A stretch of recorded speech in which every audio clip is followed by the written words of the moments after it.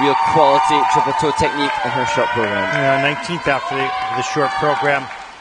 A 96.80, her personal best. Just needs an 86.94 to take the lead.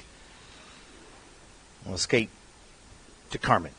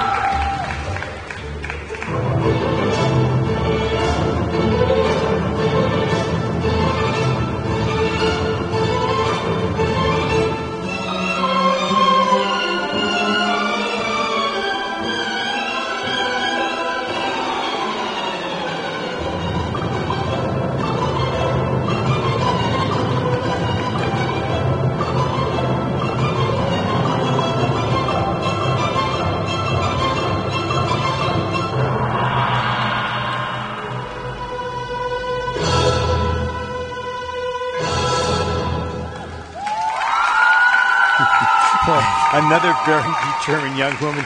You can see just completely focused, not backing down at all. Yeah, I'd love to see the reaction to a skate like that. And as I was watching Valentina, just conscious that we are seeing you know, some very special young women, women that have broken out of their respective ranks and now breaking out of their nation to represent their country at this stage. And they tend to be a certain caliber of human.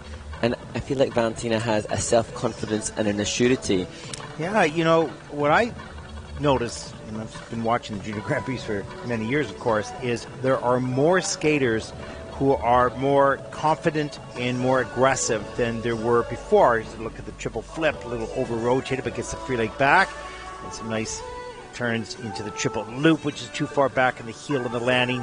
Can't get the free leg back. You got to punch that free leg back so quickly in order to secure yourself for the landing. There's second triple loop does that there into the double axel.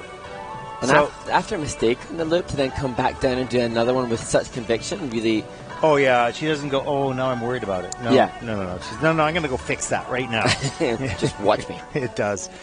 You know, it, it's nice to see more confidence in these young women deeper into the field. Hmm. And there's still lots to work on, of course. There's so much to go, but they're not skating scared. Skating assertive. And we referenced the loop jump, the triple toe that we last saw. That was a little short in rotation. So last jumping element in the program, big inhalation of breath here, and this, I said it, great technique in the short program, the triple toe. This was better than the first at the very end of the program. Yeah, yeah. And she took a little bit more time to set it up, but the timing of the takeoff was better.